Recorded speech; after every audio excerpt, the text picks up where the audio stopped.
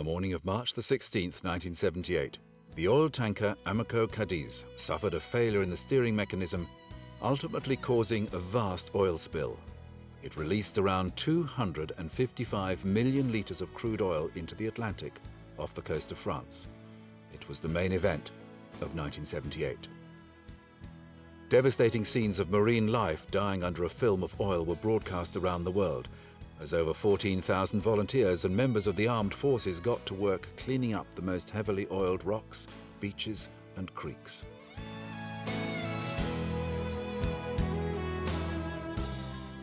The tanker was en route from the Persian Gulf to Rotterdam via Great Britain, transporting millions of litres of crude oil, when it encountered a fierce winter storm with high seas and gale force conditions.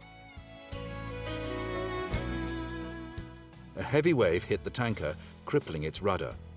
It was unable to respond to steering commands.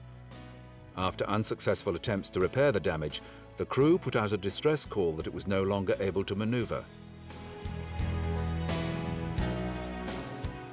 Several ships responded, including the German tug the Pacific, but their attempts proved incapable of preventing the supertanker from drifting perilously towards the coast of Finistère in Brittany, France because of its huge mass and the gale force winds.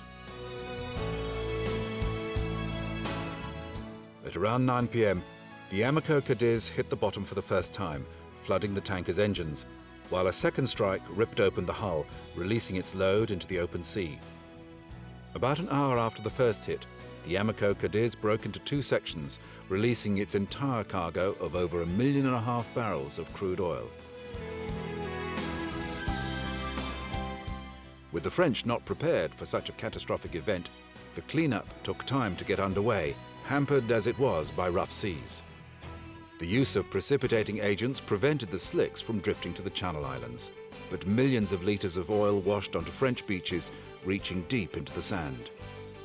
The beach cleanup was carried out in two stages, the pumping of still liquid oil and the removal of oiled waste.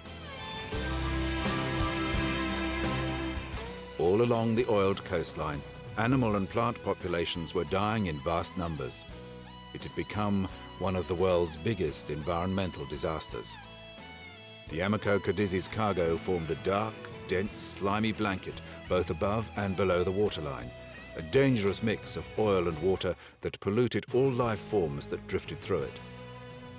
The ecological impact was coupled with the long-term effects it would have on the local economy for shellfish and oyster fishermen.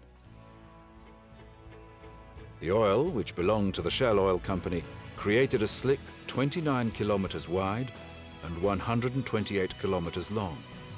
It polluted approximately 321 kilometers of Brittany coastline. The isolated location of the tanker and the rough seas hindered cleanup efforts for many weeks following the incident. The Amoco Cadiz slowly sank, but the wreck had to finally be completely destroyed using depth charges set by the French Navy.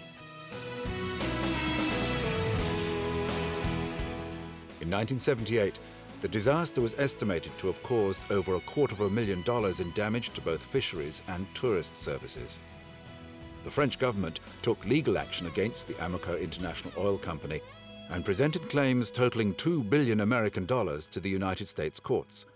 Ultimately, France was awarded $120 million from the American Oil Company. But it took until 1990. The Amoco Cadiz oil spill was the greatest environmental disaster of its time and as a result, the French government set up measures to reduce the risk of accidents and to ensure better rescue and response methods. The environmental impact of the Amoco Cadiz oil spill can still be felt to this day.